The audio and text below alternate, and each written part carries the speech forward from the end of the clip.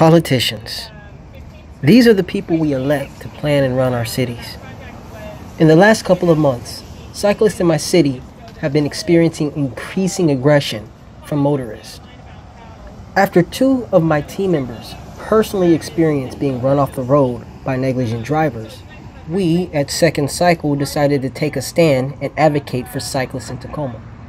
So, here we are, on a bike ride with politicians, voicing our concerns and learning about upcoming infrastructure improvements. I just want to ride my bike without having to worry about being killed by a reckless driver. Welcome to the Cruiser Racer channel. I'm Rebel Lion of the Electron Rebels Bike Club, and this is Bike Talk. Bike Talk is a personal vlog with electric bike enthusiasts. Here we share with you news about the e-bike industry and new technologies. We also feature electric cruiser and cafe racer brands. And we specifically highlight custom and DIY electric bikes. If this channel appeals to you, and you like what we like too, please click like and subscribe.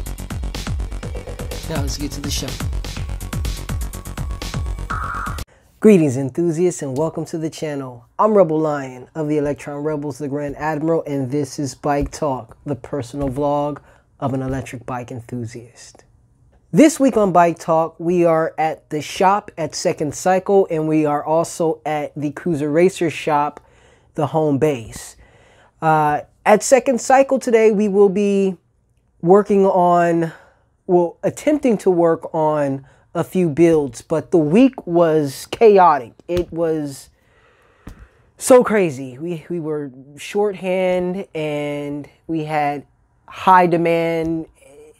We just, you know, we just couldn't stay on top of things this week. Hopefully next week will be better as the people who were out, we had a member out on FMLA and we also had a member out with a stomach flu. Hopefully things will get better, be able to build more bikes this week coming up. But uh, as for today, like I said, we're in the shop at home and we are in the shop at Second Cycle and in the shop at home, we'll be doing overhaul. We'll be doing a bunch of um, maintenance, yearly maintenance on the Cruiser. It started as me just needing to change the derailleur and brake cable and housing for both sets, front and rear. Um, but uh, as I got to looking a little closer, I noticed that there was more work that needed to be done. So we are basically doing maintenance, general maintenance, yearly maintenance on the cru- on the cruiser this week. So without further ado, let's get to it. We interrupt this program for a word from our sponsor. Today's sponsor is Cruiser Racer. Cruiser Racer is more than just a channel on YouTube. It is an entire platform based on electric bike building and enthusiasm. The first way you can help support this channel is by liking this video and subscribing. And if you'd like to go a little further, check out our store on Teesprings. In the store, you'll find eye-popping and authentic designs from the Cruiser Racer line and the Electron Rebels. This is a great way to support this entire platform and help us grow. So head on over to the store and check out our designs today. Now back to the show. Check this out, guys. We got another e-bike in for service. I've seen this style of bike a few times before, but I've never heard of this brand. I went online to find more information about the bike and the brand. Here's what I found. This is the Bulls Urban Evo 10 Diamond. It's a Class 3 e-bike with a Bosch Gen 4 Performance Speed mid-drive motor. It also has a Bosch Power Tube battery at 625 watt hours, 36 volts, 16.7 amp hours. It charges in approximately 4.9 hours to 100%. It comes with a Bosch Purion display. There are 10 speeds on the Shimano Deore shifter and derailleur. Rolling on Schwalbe Big Ben K-Guard 700C by 50mm tires and Bulls aluminum wheels with Shimano center lock hubs. And yes, we are looking at a 10 speed cassette. The frame is 6061 aluminum and weighs 54.5 pounds. Alright, so today I almost missed out on a very important teaching opportunity. Um, so I got a bike here. That is uh, this one. And it's a kid's bike. Um, 24 inch kid's bike. Some adults like 24 inch bikes. They work out for them as well. I'm trying to get a good frame while it's on selfie mode. Anyhow, I'm working on this bike here and it came with uh, a few problems, not too many uh, to take care of. First issue I found was um, it's a shift issue. I'm gonna have to adjust the shifting and um, I took the wheels off. The bike was very, very dirty. So I took the wheels off, gave it a good cleaning. Because the wheels are off, uh, of course, I'm gonna go ahead and check them out, true them, make sure the axles are spinning properly, they're not pitted, they don't have any issues, which they did. The axles were too tight. I loosened the axles, the wheels were very bad very badly aligned. So uh, I trued them already and uh, after taking one of the wheels off the truing stand, I could still tell that it was having a, an issue um, grinding still in a certain spot. And that basically led to it being a bent axle. So I've never, pardon the mic, I never had a chance or an opportunity to change out, to swap out an axle on a wheel. I've done it on, um, I've done it on a bottom bracket. Um, that wouldn't be the axle, but that would be the, so anyway, I've done a bottom bracket overhaul. I've never done a wheel overhaul, which is what I'm doing right now. And I'm gonna go ahead and show what I had to do. And then I'm gonna put it back together and then I will record that. So let me show you. All right. All right, so I've got the uh, axle pulled out and um, I've already gone ahead and cleaned it up and put some new grease inside because you need uh, the bearings lubed and rolling on something. So that's the axle. Here is the uh, nuts for them all. Um, these are lock nuts. These are the two bearings. And then this is the backs or the drawer of uh, axles that I had to fish from. All right, so the process went a bit like this. I had to take my old axle, and this is the new one. I found one already, but I had to take the old axle and then give it a good measure. All right, so I took one little thing, throw it out. Uh-oh, that happens too often.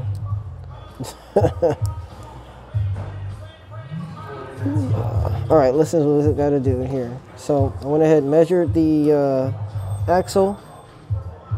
Lock that in. All right, so I need about a six, 6.86 millimeter. This one definitely fixed at 6.6. Um, but then, you know, there were others Of course, this is obviously too short. Had to be the right size, uh, the, the white width and the white uh, height or length. So this one here could be a contender as well, uh, but definitely was too too uh, wide.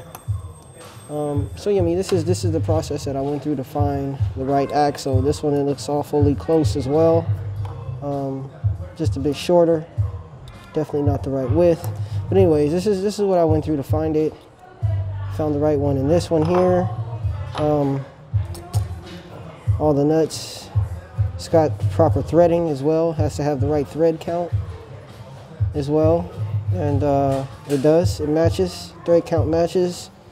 Length, width matches. Width matches. You know, go to the length of it. Spread out and then uh, measure lengthwise. Let's go ahead and lock that in place so I know what I'm looking for. And that's a sure fit. Short fit, you know. Um, short fit, you know. This is obviously too wide, but short fit. So this is this is a a good tool. I don't have one of these yet. I'm gonna have to get one of these calibrators because this is very helpful. It's uh, I found very few times. It's been a, a number of times when I, I, know I needed a calibrator, but I didn't have one at home. So this was something that I'm gonna add to my list of tools to collect here in the next couple months. So this is this is what I had to do to get the right um, the right axle, and then I also lined up the nuts uh, in line along to know what order they all go on. So now I'm gonna put it back together. Yeah. I wish that I could say that this process went smoothly, but it wouldn't be an average day in bike repair if it had. Putting all of this back together was a cinch. The challenge is to get the cones and the lock nuts perfectly tightened. If it's too tight, the hub won't spin properly. And if it's too loose, it may fall apart while on the rod. This is a cone.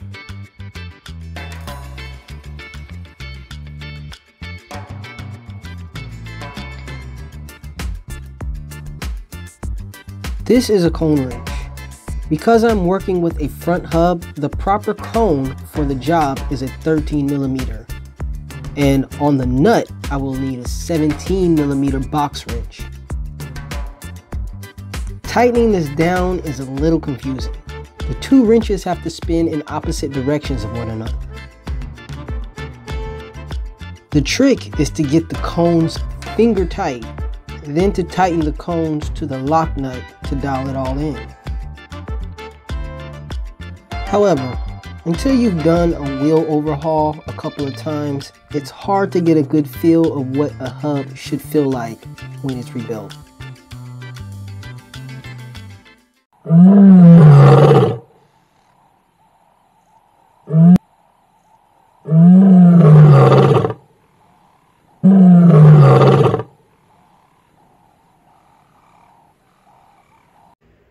Good morning, good morning. It is Saturday, and it has been quite a very, very busy and exhausting week at Second Cycle.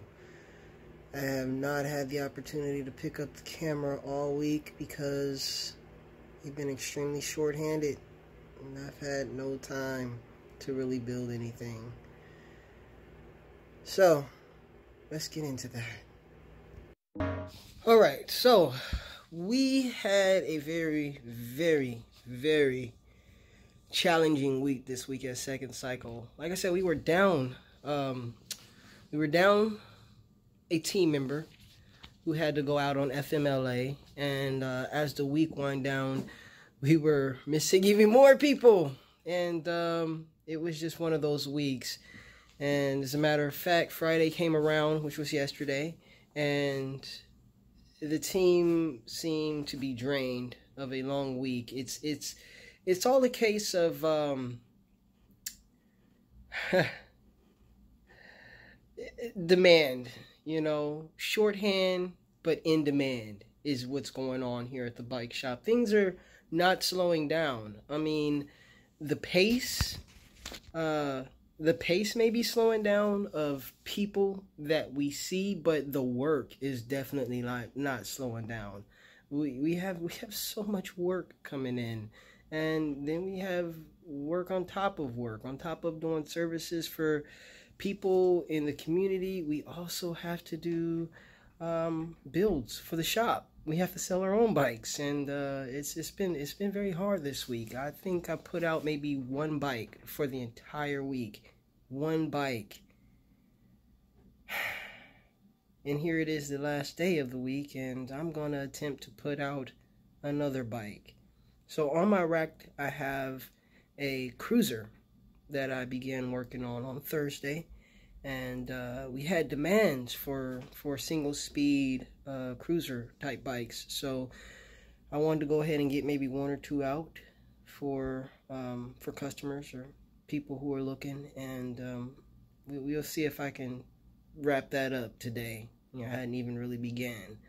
I did pull it apart, take the wheels off, uh, so I can inspect, further inspect for uh, wheel alignment and um, hub hub play. Um, and then uh, I wanted to clean it as well to see if there were, you know, any visible or any um, cracks in the frame. So yeah, that's what I did on Thursday. Today I'm gonna try to button up that whole build and get it done and out on the floor. But once again, we'll see. But in brighter news and lighter news, um, there's some really cool things happening at the home shop here at Cruiser Racer, and uh, I'm really excited to to show you what's going on. So some things happened. Um, I went ahead and began trying to supply the shop more with tools that are relevant to bike mechanics. Now I have a lot of tools in my shop, but not all of them are are suitable or, or the proper tools necessary for working on bikes. Um, I did get some um, try, call them try, I can't remember what it's called, but here, one of these here try tools that gets, uh, you know, while you're in, you don't necessarily have to keep changing up when you need. So I've got a set of three. I've got that one. I've got this one. So this would be the five. I believe that's the six and the four. And then I also got some of these here for um, uh, sockets, so to speak. So yeah, I got that. And then also got myself a fourth hand because it seems like I'm always messing around with brakes. So I got a fourth hand tool and uh, we also got some uh, uh, donations in of uh, some cone wrenches, which is uh, usually what you use around um, bear, uh, hubs, around hubs and uh, brackets, bottom brackets. Um, and I want to get some, I want to get a set of them. And uh, one of, like I said, a few weeks ago, some donations came in that had some cone wrenches, cone wrenches set, and I am going to inquire about them and try to get those here in the shop as well. Um, I am going to pick up the truing stand today. So I've had that just kind of waiting in the wing until I cleaned up the shop a little bit more and got it organized. So I did a little bit of organizing last night. And let me show you what's going down. So here's inside of the place. And if you follow the channel, you know that the bamboo has always been a part of the theme in dividing the space. But I've gotten a little tired of the bamboo dividing the space. And I decided to open the space back up and show the bike shop. And in the bike shop, I've got this really cool stand that I ordered and finally came it didn't take very long. It actually came very early. So I got this cool bike stand now that I'm working with. And on the rack here, I have the newest build. So I am going to start playing around with this here now. I'm about ready for it. And, uh, but before I even take care of that, I am going to be putting the cruiser on the stand um, because this weekend I am going to be changing out the gear and the brake cable. I've got a front brake cable and both gear cables that I need to replace on the cruiser.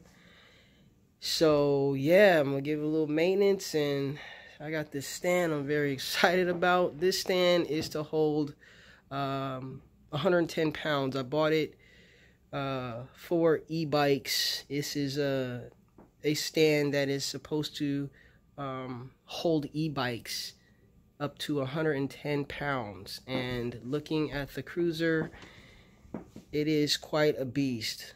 Um, but I suspect this bike is no more than 85 pounds. That's the frame uh, which is usually about 50. I've got the motor and the battery, which adds 10 pounds each.